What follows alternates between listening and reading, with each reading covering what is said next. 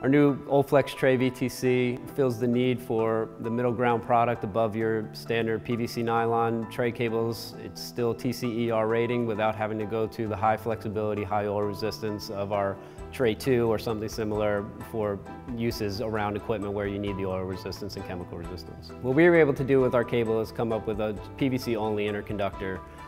By removing the nylon from the PVC, you make the interconductors more flexible. So it's going to be a lot easier to work with than your traditional PVC nylon cables.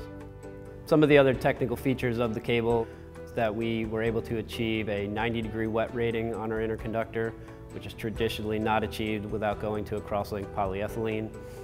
We have a jacket that meets UL Oil Res 1, which is going to be an improved oil resistance over most of the standard PVC nylon tray cables that are out there.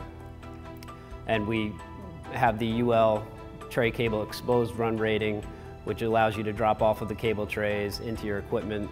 So again, saving labor and, and installation costs by removing the conduit that you would have to traditionally use with just a standard UL tray cable. So if you're used to using the commodity PVC nylon tray cable, you now have another option that gives you more performance and without having to go to the premium high flexibility oil resistant cables if it's not needed.